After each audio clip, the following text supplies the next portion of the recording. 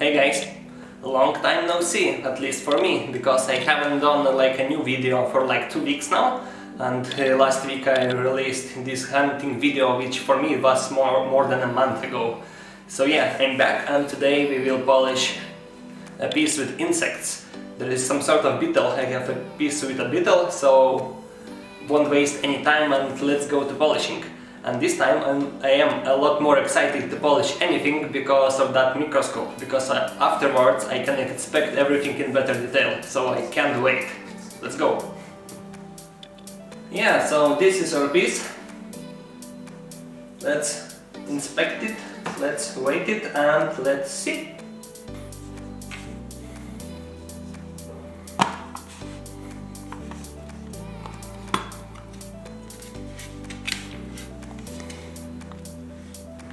Whoopsie doopsie, wrong side, I'm sorry guys.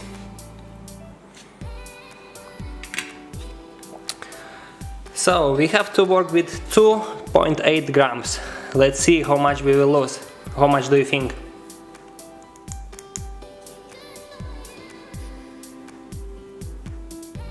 Not sure what you can see in here, but on top is uh, we can see something, like some sort of beetle or whatever but we will find out only after polishing, I'm guessing as always.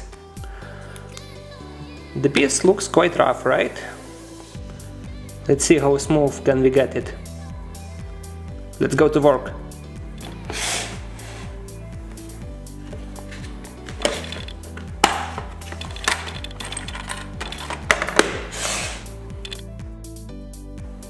Yeah, this tip is quite weird after the Kauri gum, I haven't uh, changed signs. But I'm not gonna change it now, because I don't need like... Now the surface of this will be a little bit smoother and our piece is quite small, so I will leave it, so we don't remove uh, too much, you know, material uh, when we don't need to.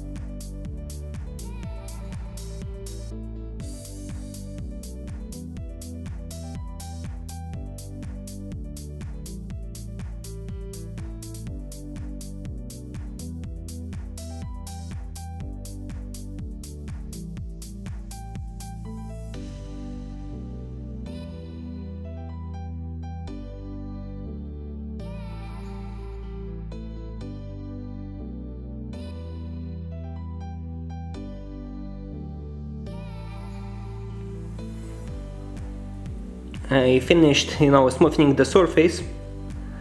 It's, it's almost quite smooth. I did leave some marks here because the insect is pretty close. So I will proceed manually uh, to polishing, uh, rather pre-polishing.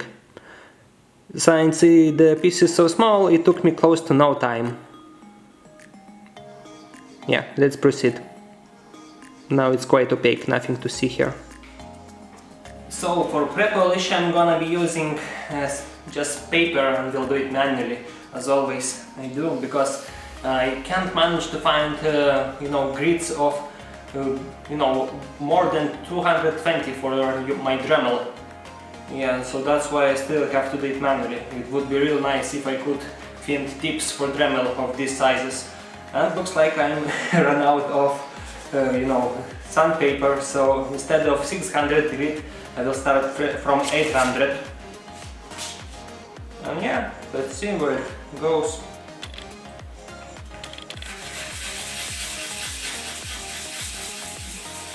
If I do a good job while dremeling, then I need less effort while manually sanding it.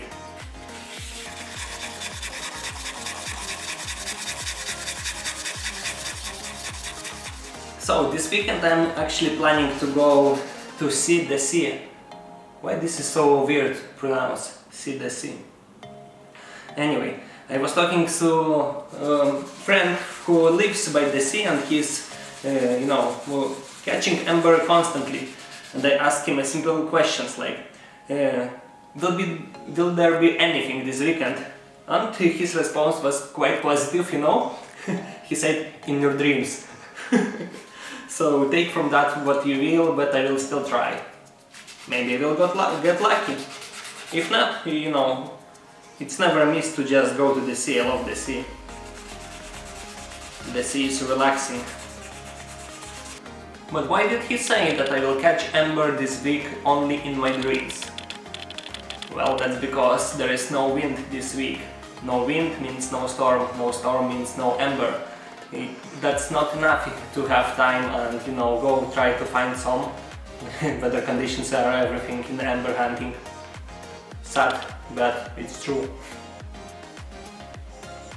So the I finished with 800 grit and 2200 grit. Now we'll do the same with 2000 grit and 2500 grit and we will move to polishing. This black spot is some sort of beetle or a fly.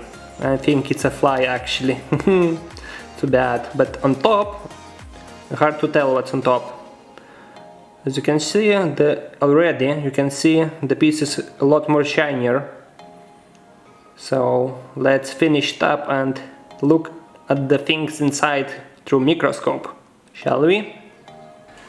And the time has come for the final touch, which is actually polishing it with Dremel. Let's not polish my fingers, that was wrong button.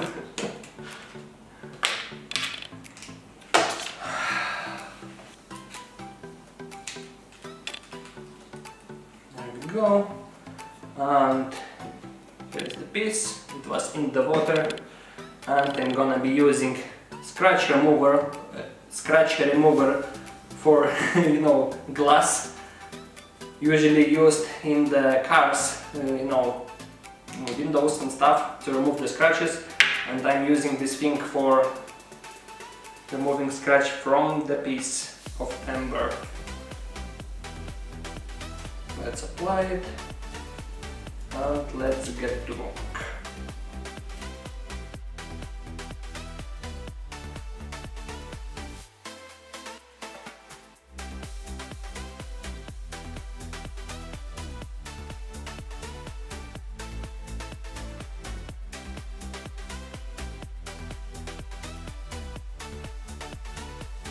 I did finish polishing. Now I'm gonna gently wipe it with this thingy and let's inspect it. Because this is the most exciting moment of the you know whole process almost to see the end result.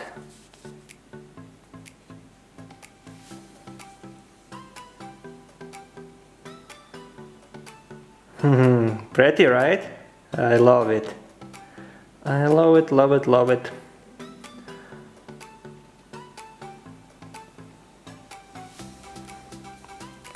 Now even with the naked eye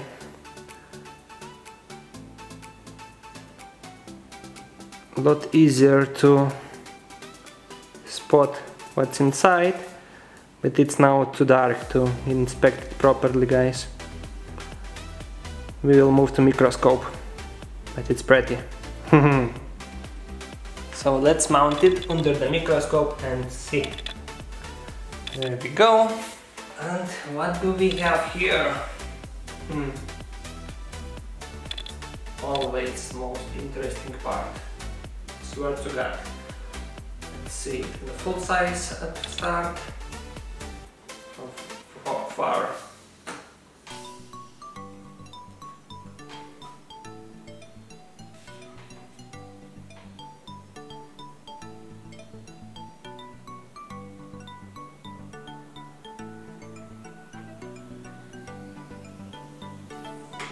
So can say from the very start the light from the microscope itself is actually not helping. But if I do it like this,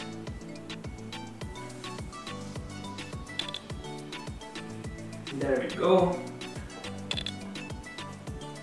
Now it is a lot better. And this is in fact a beetle guys. A beetle. Hmm.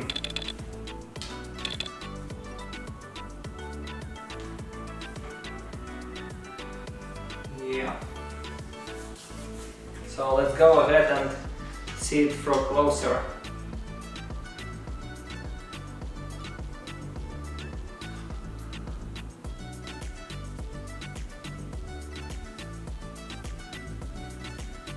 Hmm.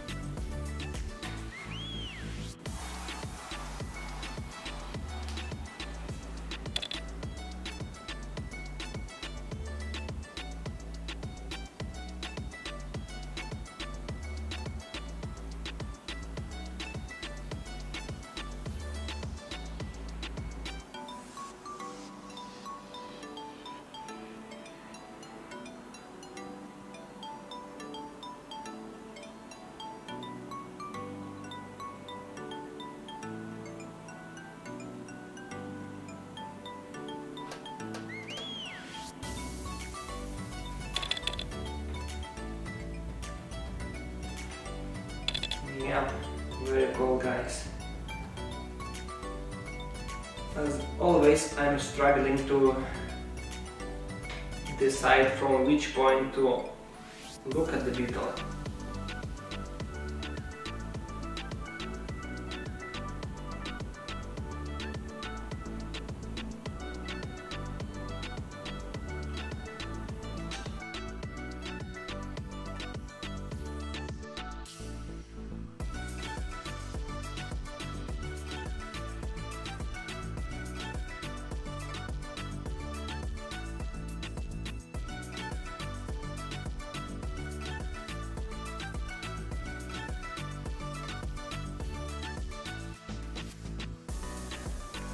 And let's see how much size did we lose. If I remember it correctly, it was 2.8 grams and now it is, how much did you think it is?